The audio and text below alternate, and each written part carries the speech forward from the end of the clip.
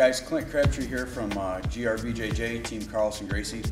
Uh, I've seen a lot of stuff on the internet and people coming in asking me how to tie a belt. And so I just wanted to put something out there. There are a couple different ways of tying a belt and you should end up with a, a similar knot, just tied differently.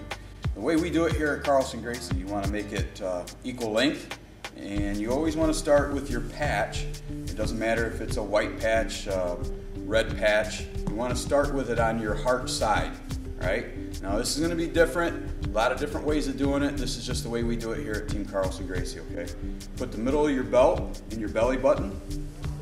Keep your belt straight. You don't want it to twist around on you. You're going to go all the way around your body and back around front, right? Now you're going to take your patch side, the one in your right hand, you're going to lay it across your belly.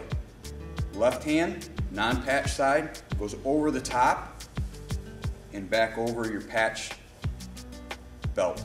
Right, so it should look like one belt here.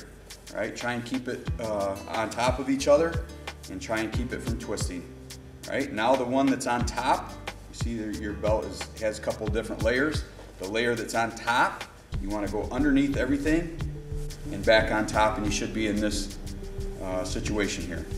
Now, kind of the uh, easiest way to do this now is just take the patch, fold it over, and the non-patch side goes over the top, down and underneath everything, and make your belt, right? And now your patch should end up on your non-heart side, on your right-hand side, right? Again, don't worry about if you're on another team or if you tie it a different way. Some people want their patch on their heart side. That's fine. It's just a different way of doing it. All right? That's how we do it there. That's uh, what I would call an old school way. It's a basic knot.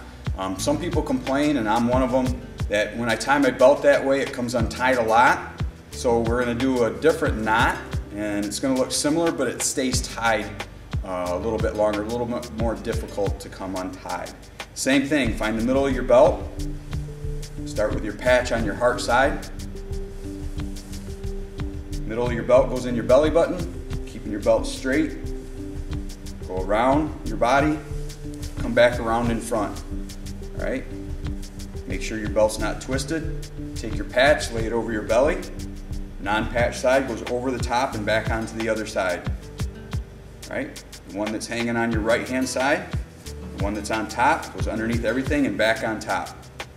Now what I like to do is separate these two uh, uh, pieces of belt here and go through them and leave a little bit of a loop here.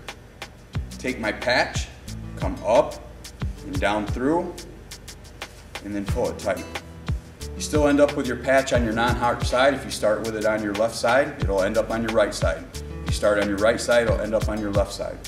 This knot similar to the first one we just did, but now it's kind of locked in. Some people might call it a square knot or a version of a square knot, but it stays tight. Uh, it stays tied, a little bit harder to come untied. Um, some people like to use it in uh, matches. Some people like to use it for training so they're not having to tie their belt a lot. Uh, depends on how you like to compete. If you like to take time and tie your belt, you might not want to use this. If you don't like to, uh, if you want to push the pace and you know your, your uh, opponent doesn't have good uh, cardio, you might want to keep your belt tied. You can keep pushing the pace. If you like your patch ended up on your heart side, like I said, there's uh, it's just a personal preference or team preference. Same thing, you're going to find the middle of your belt. Make sure your gi is folded correctly, left over right. Find the middle of your belt, put it in your belly button, making sure you start with your patch on your right side so it ends up on your heart side, on the left side. Go around. Make sure you keep it from twisting. May want to make it look like it's one belt here both sides. Right hand, bring it over the top. Left hand goes back over the top. So your patch should be on your right hand side. Goes underneath, back on top. Now depending on which knot you like, if you like the basic traditional knot, just non-patch side, you're just going to turn it over. Patch goes on top, underneath, pull it tight.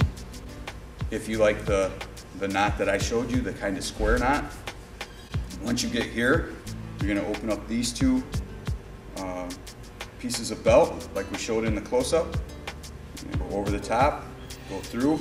When you go over the top and through, you want to make sure you leave, you don't want to go over the top and through between the uh, belt, the tail of the belt and the top belt. You want to let that hang and go just between the two belts, not over the, the tail. Now the tail's going to come up and over, back through, pull it tight, and that's how you would do your knot, uh, the square knot with your patch on your heart side. Up to you. Um, that's how we tie it. Os.